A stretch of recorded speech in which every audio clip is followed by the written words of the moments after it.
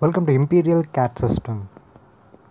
In this video, I'll explain one command user stamp in CATIA V5 sheet metal modeling. What does this user stamp command do? See if we select here we have an option called punch.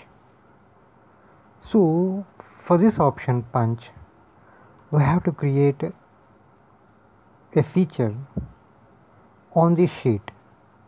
Here we got a sheet. On this we have to create a feature by going into part modeling and create a feature in that so get into part modeling if we directly go into part design see you will get one warning message. Here on this sheet if you create a feature like I create some profile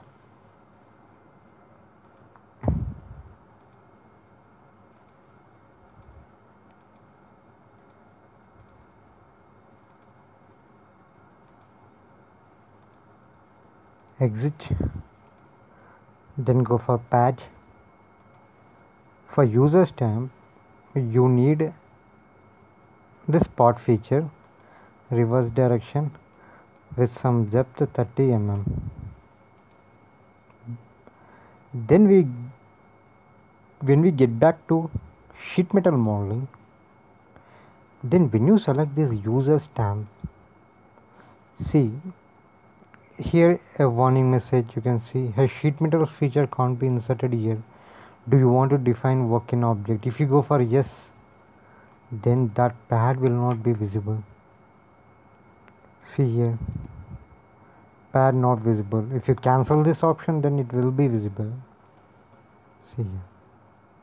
So if you want a stamp of this shape we need to use this user stamp then why it is not showing? When we select this when if you go for a yes see not visible. In this case see that means that the pad feature can't be inserted under a sheet. See under part body there's a sheet already there.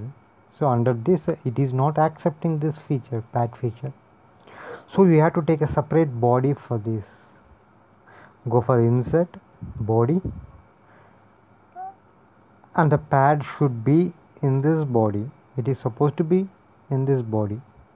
So before creating any any feature before going into part modeling go for insert take one body then go to part modeling and create a feature. Now I directly cut paste into this body.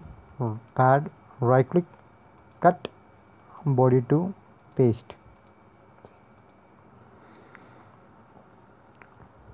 If you want fillet at the base you have to do that in part modeling itself. See get into part modeling I want base with some radius some 3 mm see. Then get back to sheet metal modeling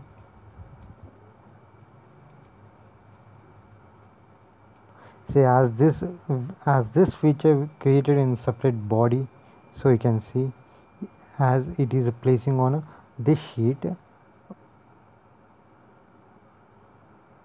not merging into this sheet it's showing separately. Then get back to sheet metal design. Go for user stamp. Go for yes. See it is visible now now after selecting this user stamp do select on the surface. See if you go for preview first select on the sheet sheet surface and in this punch option select this body the entire body.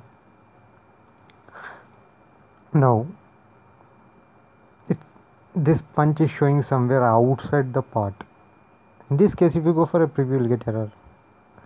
So what we need to do in this means uh, just select a position on contest option then go for preview. Now you will get a stamping see. I go for OK. See we got a stamp. Whatever the shape we have created in part modeling we got stamp over here as we have gained some radius in the part modeling itself it has taken and the thickness maintain the same thickness as we give. Whatever the thickness we give in the sheet metal parameter that maintain the same thickness for the stamping also. So like this we have to use this user stamp option. Apart from this in user stamp we have also an option faces for opening. See I select this faces for opening.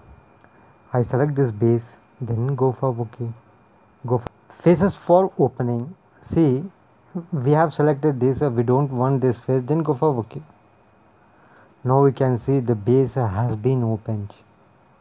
See like this we can use user stamp for this we have to go for insert body and generate a pad. Not only pad in part design you can use any option like pad as a shaft or rib. You can create in a you, you can use this option and you can create a feature under part body. Then go for sheet metal operation. Select user stamp. First select on the sheet then select this punch. The feature which you have created. Here radius radius 2 is nothing but this one this radius the base radius. So like this you, we get a stamp according to the shape of the feature we have taken. Thank you for watching this video. For more videos please subscribe imperial